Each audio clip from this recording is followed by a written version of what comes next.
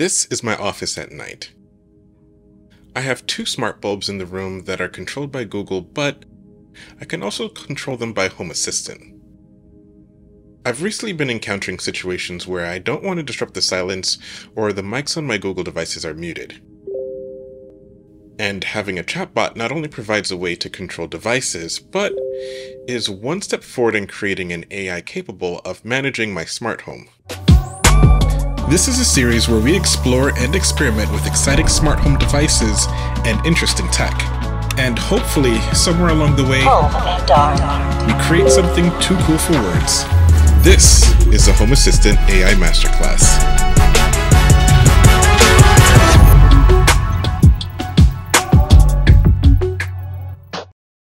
Well, welcome guys to my first video in the AI Masterclass series. So personally, I created this because there's been a lot of occasions where I've wanted to trigger automations using my voice, similar to like what you see with the big three. But since at the time this wasn't really a possibility, the next best thing was to create a chatbot that I could speak to or type to that could run my commands. Then later I found out that having a chatbot in general was actually pretty useful. So here's what we're to learn in this video. We're to learn how to set up Telegram. We're to show you how to send your first message to Home Assistant using Telegram. Now this is the foundation for everything else that you're going to learn later on in this series. And if you're wondering when you'll learn how to incorporate ChatGPT into your Home Assistant, that will happen in the next video. But I encourage you to start with this video first because this is where we build the knowledge and the foundation so we can progress to the other stuff. Okay, enough talk, let's learn. So installing Telegram. Just to be clear, it is best if you go to Home Assistant's Telegram's integration page to read through it for yourselves and follow the instructions. The moment I create this tutorial and publish it, might as well we carve it in stone because at some point the tech will change and this will become obsolete. So it's best that you just always refer to the actual integration guides as opposed to this video. And if you're seeing this years later, again, best read the instructions, but far be it from me to stop you from listening to my TED Talk. Now, if you're on a Mac or on your phone, download Telegram app and sign up or sign in. Once you have the app, you're going to need to contact the bot father. Yes, I said the bot father. See, this is what happens when you leave developers alone by themselves. They create like entire apps filled with dad jokes. So, uh, take it as you will. But once you find the bot father, click the start button, click on this, give your bot a name and a username. And you're going to want to store the API key somewhere safe and make sure that no one else sees it or place it in a public site. So don't like commit it to GitHub or anything like that. Just in case you can't find your bot, just type in the username that you created for it and it should show up here in the search. Right, so you're also going to need a chat ID. Search for the Get ID bot, click Start. You should see your information here along with the chat ID, and you're going to want to store this chat ID too. Now it's time to head into the Home Assistant app. This is where we add the integration in. You'll need Studio Code server or some way to edit your YAML files in Home Assistant. I'm going to be using the Studio Code server. So inside Home Assistant, open up Studio Code Server and navigate to your config and add the following. The API key is the same API key that you got from BotFather, and the allowed chat ID is the ID that you got from the get IDs bot. After this, just restart your config and you're all set. So how to receive a telegram within Home Assistant. For setting up automations, I use Node-RED. Personally, I find Node-RED's flexibility and visual layout very appealing and it fits my personal development style much better than the YAML-based configs. I'm pretty sure you can do the same thing in YAML that I'm doing in Node-RED, but I will be honest, I don't know how to do this using YAML. As you'll later see later in this series, things become really easy using Node-RED, especially when we're introducing GPT-3 and some of the NLP engines. It's just, it just suits my development style way better. Telegram provides three events that allows you to listen to information. Now we use this events node in order to actually tap into those events. For convenience, I've added these six nodes here so we can get through this quickly. The three nodes on the left are the event nodes, the three nodes on the right are the debugger, which allows us to see what those events are. The first event type we're going to look at is called Telegram text. This fires whenever you simply write plain text inside Telegram and you click send. The second event type we're going to look at is called Telegram command. This is a bit special because Telegram allows you to fire commands right within the text. So by prefixing your text with a forward slash, Telegram will treat it as a special command and will fire this event. Let's inspect the information that came back from the debugger. When we go into the payload, click on events, we can see that the command is the same as the command that was sent inside Telegram. And then if we check the previous command, we see that forward slash start is the same command that we see inside the debugger. Something additional you should know is that by adding in more words beyond that initial forward slash, we'll treat those additional words as arguments.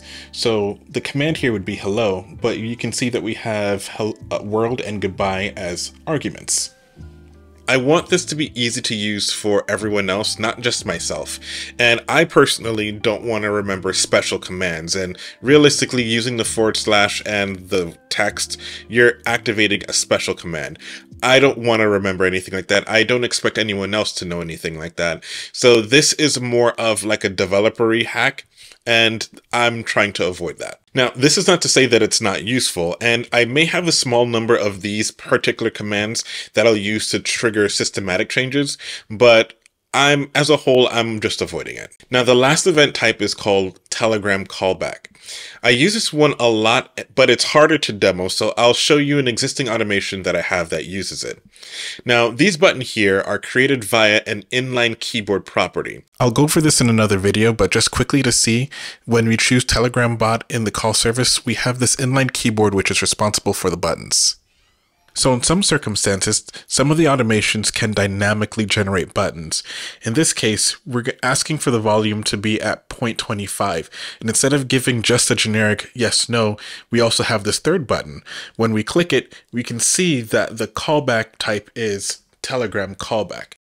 I use this event often because it allows me to reduce the guesswork needed to interact with the bot. In some automations, the bot will give users a choice, and if the choices are predefined, I find that it offers a better user experience and better user onboarding.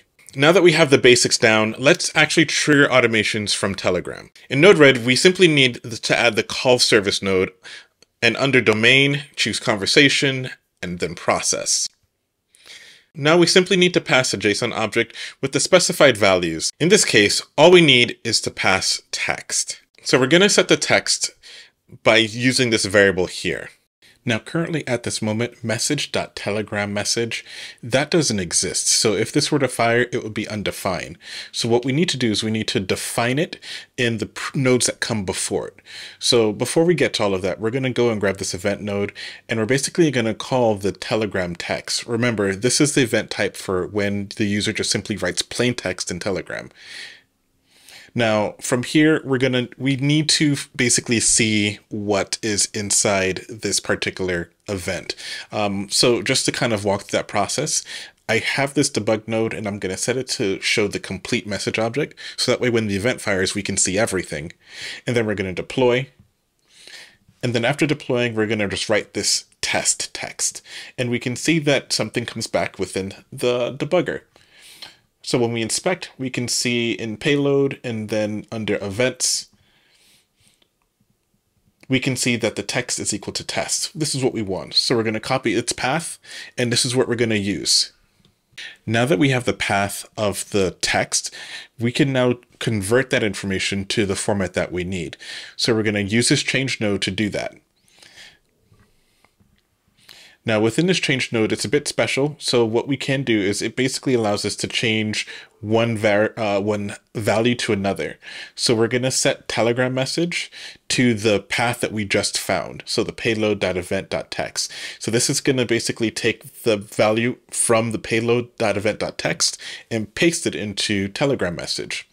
Now once we connect it, Telegram message will now be complete, so it will no longer be undefined by the time that node runs. But we're going to do one more thing. if we were to just send the message from Telegram now and it completes, nothing is going to happen within Telegram. So the user just won't know. So we're going to use this additional node from the call service and we're going to basically send a message back to Telegram. So to give the user some indication that something happened. In the domain, we're going to do Telegram bot service is going to be send message. And then we're going to look at this message here and we're basically going to send a message using that key. That key is what basically Telegram looks at when it posts messages back to the app. We're going to name the node. We're going to deploy why, hello there. Uh, sorry for the inconvenience. Uh, this video was made a while ago, and between then and now, Home Assistant made several updates, and during one of those updates, the Conversation API, which is being used in this process, stopped working. I don't know if it's intentional, I don't know if it's an accident, no idea. But continue watching, and I'll explain a little further how we can work around this. This conversation process, even though I kind of explained it to you, this is what stopped working we can't use this anymore. This is technically the whole crux of this particular automation where you receive information from Telegram, you set the property for it, it goes and it gets processed here, and this will actually do the command. So turning on the lights, uh, turning off your alarms, whatever the case is, whatever your automation is, it'll do it if it was within the assists uh, capabilities of doing because it mirrored assist. Now this doesn't work. Technically, I could ignore this, right? We could ignore it. We can move on and let's say just learn how to use the open API around it. Um, but then you kind of lose a lot of the flexibility and power that I wanted the chatbot to have. And it just sucks. It just sucks. If you wanted to, for those of you who use Google, you could just replace it with basically the Google's version. So within here, instead of the conversation, you would choose Google Assistant, and then you would choose under service, send text command. And then now all you have to do is this command is what would be what you would send to do the command. So like turn off TV, kitchen TV, or whatever the case is.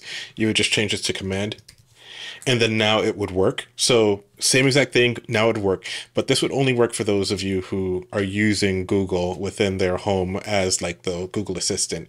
Everyone who's using Alexa, anyone who's using uh, Apple, like anyone else, to be honest, this won't work for. And that's not good enough for me either. So we need to come up with a different way of doing this. I will tell you from now that this next way may not be the easiest way. It's going to be interesting. It won't be super easy. I will do my best to make it clear in my explanation. So let's go.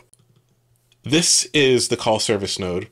When we inspect it and we look at its help properties, we can see here that they have some interesting helpful tips and tricks. One of the things that caught my eye when I was looking at this is that you can pass things dynamically to it. So for instance, I see here turn underscore payload. If we were to go and check what is here under Home Assistant, and we look at service, we can see that there's turn underscore off, turn underscore on. So what that template did was it allows us to choose which one we want to do. We can have it turn off or on, but dynamically. We don't have to like have it hard coded into here. So this is what we want. And the fact that we can do it here suggests that we can probably do it for all of these other stuff. So what we're looking to do now is to create this node to be dynamic such that when we receive text from Telegram, that we would have some kind of logic that will look at the text and say, okay, within this text, what is the entity that I need and what action needs to be done to it? So if I say turn off the light in the kitchen, then it needs to know that, okay, the entity is a kitchen light and I know that I'm turning it off. And those need to be dynamically placed into the service as well as the entity. So first thing we're going to do is we're going to get the inject node. What the inject node would allow us to do is it allows us to start an automation without having to do anything besides from press a button here on the screen. And you'll see what I mean shortly. So we can take it, just drag it to it. And then now when we deploy, nothing is going to happen, or at least you're not going to see anything. But this button becomes clickable, and when we click it, it'll basically trigger and everything will start from this point moving forward. All right, so then now what we want to do is we're going to change this to Home Assistant. And let's see, service we have here turn on and turn off. Uh, for the sake of testing, this is what we're going to do. I'm going to move this to the side and we can see here that we have several lights on in the house. So we're going to create an automation that can trigger these things dynamically. So I'm going to use a toggle because that's going to be easy for us to see. But instead of hard coding toggle, we're going to have that dynamically passed in. So let's do this. We're going to just call this action. What this is saying is that that action is basically a variable, and that variable, if it's whatever that is, it's going to try to run that variable or use that variable as an input for service. So we want this variable action to say toggle. But at the current moment, nothing is defining that variable. We're going to have to define it elsewhere. We're going to just call this entities, entities. Now currently, just like action entities is empty, but whatever this variable is, it's when it resolves, it's going to get passed into this and it's going to use this as entity field. It's going to use whatever value is entities. So let's go define these things now. We don't need this. I can delete that. That's gone. Let's just click done. And now we're not going to run this from Telegram. We can leave that. Telegram will still work. Uh, but right now, what we're going to do is we're going to trigger the automation from this inject node. So to do that, we first need to pass in those variables. Let me show you what it will look like if we don't do that. So let's deploy. I'll put it onto the debugger. It's done. So when I run it, it's going to fail. See, call service node is missing API service property not found in the config or payload. So it doesn't see anything. It's saying that there's a problem. That's because all of the stuff that we passed it, the entities, the action, all of that is missing. So let's define it now. So we're going to call this action. And we said that we want to call it toggle. And then we're going to come here and we know we have entities. And for this one, because it's an array of items, we're just going to use the JSON or the JSONata. We'll do the open close brackets. And I believe the entity, let's change the office life light left. I believe that's what it's, what it's called. Uh, I could be wrong, but we'll find out. Done. So right now, when we trigger the, this particular entity or when we trigger this node, it's going to now have within its data flowing into the call service node action, which is toggle, and it's going to have entities, which is this. This is now defined. So when we deploy, I'll clear this. Give it a second. I don't know where that happened, but we'll see. And now when we fire it, instantly it worked. This means that we can dynamically change things. And if I press it again, because it's the action toggle, it should turn back on. Perfect. Okay, so let's recap. In total, what we've done in this video is set up Telegram, connect the Telegram to Home Assistant where Home Assistant can see the information coming from Telegram. And now we've created the latter part where we can dynamically input actions and entities into Home Assistant to do some kind of action in general. The only thing left now is to kind of connect the two pieces together, the front and the back, where now that we have the text from Telegram to translate it or parse it into something that Home Assistant can understand and actually execute commands on. That's going to be a bit tricky, but we're going to handle that in the next video. We can't do that here. It's going to be way too long. I think it's going to be too overwhelming and I have to test a few things out. Bottom line is in the next video, we're going to dive deep into how we can get this to work. Hint, we're going to be using OpenAI for this. I think you guys are going to love this next video. Stay tuned for it. Okay, bye.